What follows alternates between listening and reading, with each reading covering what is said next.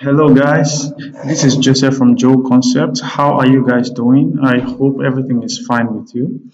Alright, so I'm sorry I've not been able to upload in the past um, three to four months thereabouts, and it's because I've been I've been on a project which has been taking my time, really time consuming, but I'm back and I hope to still to still keep uploading as I always did back then.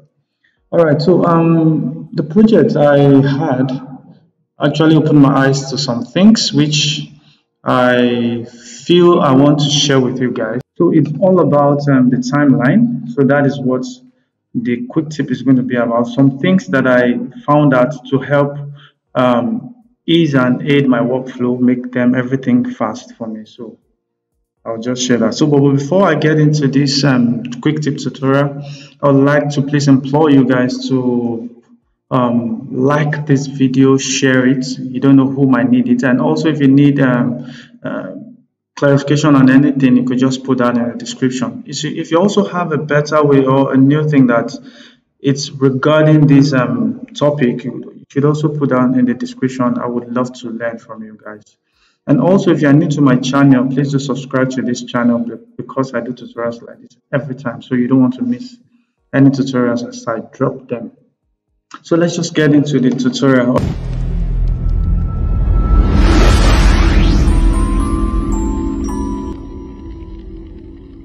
So the first thing is uh, that normally I would scroll my wheel for me to move um, between frames but later I realized you could just scroll your wheel here and it goes.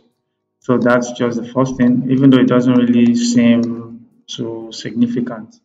So I realized that, I noticed that. The other thing I also noticed was um, zooming in and panning in this timeline. So the same way I could zoom, pan in my viewport, I could also do that here in the timeline. So you already know that.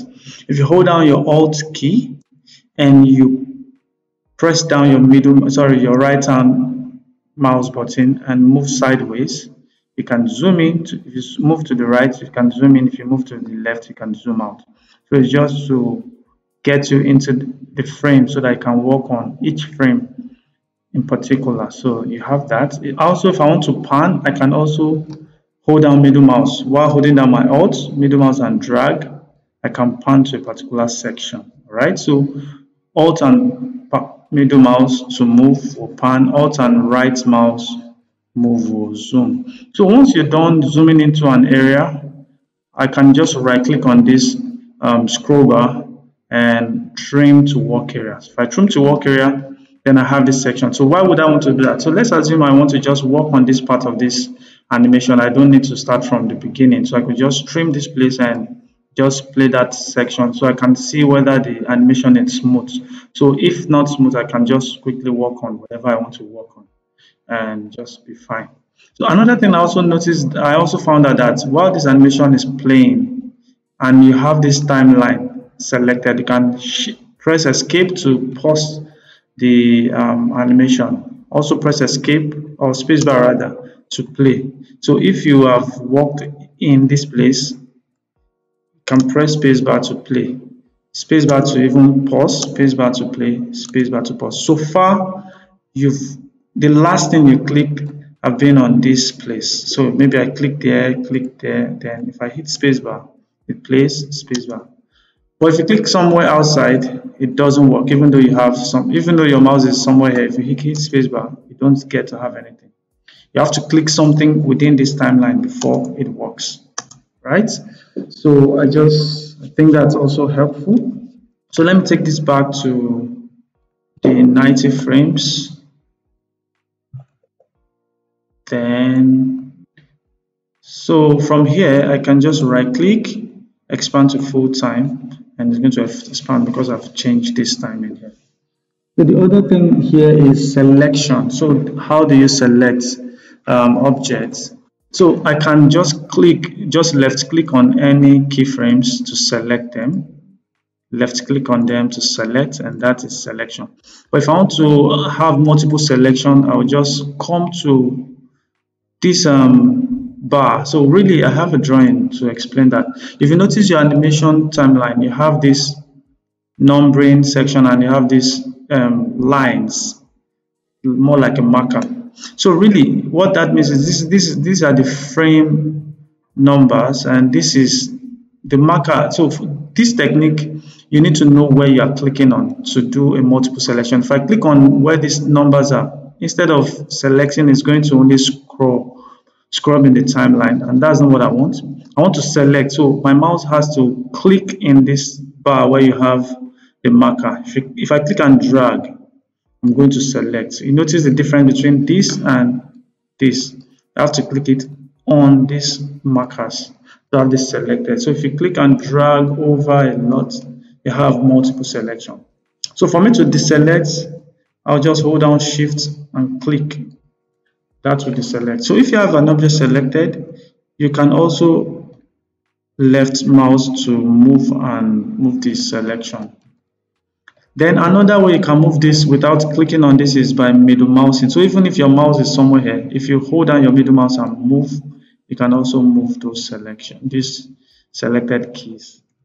All right so you have that. So that is to select. So the next thing i have is um, more in the advanced states so if you notice this uh, it took me a long a, a, long as in i don't know how to put it took me so much time a long time to know that i actually have um, an advanced mode of um, representing my keys in the timeline. I didn't know about that until this past week. I really learned a lot in my animation, in the animation I did in this past week. So if you right click anywhere here, so let me deselect. If I right click anywhere here, I have the option mode. If you go to the option, you have the advanced mode. So if I click on this ad advanced mode, notice what happens. My keyframes now become these elongated keyframes. And now that means this is advanced mode. So now when you get to this elongated keyframes, selection is now quite different. I cannot do the same thing I did in the standard by clicking here and dragging. It will not select. It will scrub uh, in the timeline. So for me to select multiple, either I click on the object, you notice I'm even trying to click on the object is not selecting. So for me to select either I middle mouse on that object for it to select or I middle mouse I hold down shift and drag. So if I hold down shift and left click and drag, I can have that selection. So those are the two ways I found to do that. Either you made the mouse on a key to do a single selection, or you hold down shift and drag to have them selected. Or you can hold down shift and left mouse. Hope that works. So this doesn't work. So so it's really middle mousing or holding down shift and left mouse to drag? To do that. All right. So now so what's now the importance of what is the usefulness of this advanced mode so now once you are in the advanced mode this option comes up for you right now if i don't have this this advanced mode i don't have that option i only have ripple edit this but once as soon as i bring this up I now have these three buttons, no split, split PSR, split vector key. So what do they mean? So by default is no split. That's why I have this blue bar. So what no split does is, so by default, anytime you hit keyframing, you set a keyframe, Cinema 4D is going to take all the parameters, uh, position, information, rotation, um, scale, every information, it's going to bring them all together and just add them in one go like that as a group. That's why you have this blue key. But I found out that I can actually split these things to either PSR or vector. So what's the difference between splitting this to PSR? So let me just show you. If I choose PSR, you notice this changes to this red, green, and blue. If I right click and split vector, changes to red, green, and blue. But notice some things here is different here. If I right click, notice the color code I have at this position here. This is green. If I right click and split PSR, it changes to red. So what does this signify? What does it mean? So I'm going to go to a new file to explain that. So I have this. if I come to this place let me quickly do basic animation so if I come here and hit a keyframe I have this keyframe working here then at this position I'm going to move this here set a keyframe then I have that. So if I to change this to PSR key you notice I have the red green blue. So why do I have this? The reason is because anytime I hit this keyframe icon record keyframe it's going to record everything. So it's still taking everything. What if I just want to split the um, keyframes and just I don't need all these I don't need scales or rotation I just want this. Then how does it work? So now when you split this to PSR what Cinema 4D will do is that it's going to record your position it's going to record your scale and also record your rotation. So now the marker in this case the red is the position the green is the scale and the blue is the rotation. So let me show you if I, from at this position here, I want to record the position, I just move this position here. So instead of me hitting this, I will just keyframe this position. Notice what happens.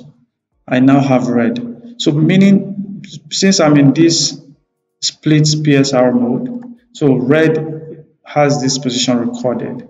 So if I'm, for instance, I want to record the scale at this position, I just record this scale, only these scales. Notice it gives me green. So maybe at this point, I'm putting the scale down to 0 0.5, 0 0.5, 0 0.5. I'm recording that. So you notice what I have.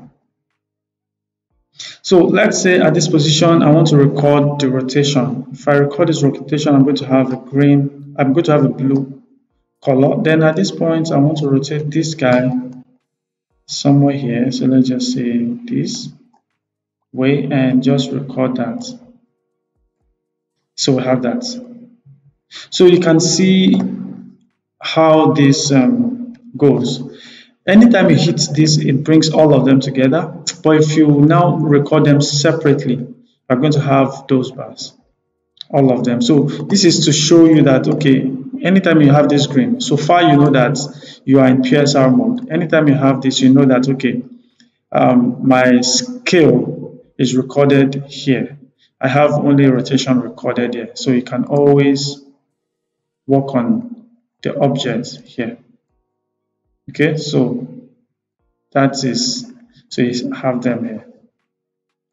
So that is to record the PSR to split the PSR you now have another mode to split the vector. So let me quickly show you. Now the vector is more of the x, y, and z.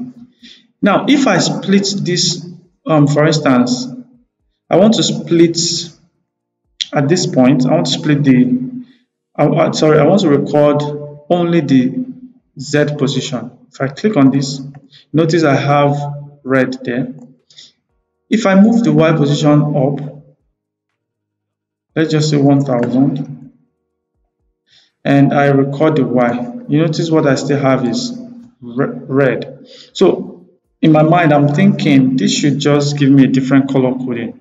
But it can't give me because I'm in PSR reset mode or split mode. So PSR only record all position as one color all rotation as one color and all scales as one color. If I want to split them so if in my own case I don't work with um, all this position scale I work with the vector. So what I will do is to create a vector. So let me just delete all these keyframes that I've created. Sorry here. Then bring this delete so I will change this to vector. So once I change this to vector, so what that means now is if I come to this position and I record, if I record the Z position, for instance, I'm going to have this blue. So at this point, so let's say I'm going to bring the Z minus 1000. So I have that recorded. So at the same time, I want to record Y at this position. If I click on Y, you notice I'm going to have the blue and the green, which is the Y and the Z position recorded at the same time. So at 30, I want to bring the Y up to 2000 for instance and record only Y. You notice at this position I only have the green. So let's say at this position I'm going to record the Y and the X because I want to animate the X now. So you notice the X is now re represented here as red. So let's say for this I'm bringing the S 2000 units towards myself. Record that.